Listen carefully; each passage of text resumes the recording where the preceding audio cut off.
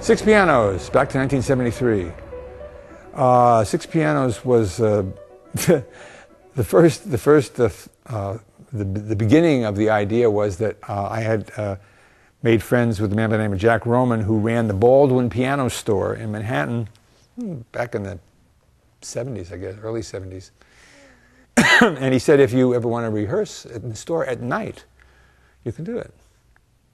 I was like, hey, this would be great. We'll just have all the pianos in a piano store. Well, we tried something with 12 pianos and it was such a mess. I mean, it was just a joke. So we finally realized that, that six was a lot, and even then we started playing spinets, this little pianos that could be very close together. And eventually we, we got good at it, so we could do it with, with, grands, but they have to be as close physically as you can make them. Um, and um, it's, it's, a, it's a, uh, a very rhythmic piece. Uh, the challenge there was I was writing in 4-4, which is not the meter uh, that I usually write. And it tends to be uh, heavy-handed and too, too square 4-4.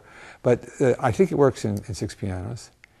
Um, and it's very uh, demanding to play physically. You're playing, over, I mean, it really has demanding repetitions. And you're also playing, the whole piece takes place in the middle of the piano. There's nothing on the bottom, nothing on the extreme top. So there are a lot of jokes about that. Um, and uh, eventually it, it, was also transcribed, uh, slightly in different key, uh, for six marimbas as well. Same piece, different key. Uh, but I think it's a successful piece, and um, you need very rhythmic uh, pianists, and sometimes even percussionists can play as well or better than the pianist, depending who's playing.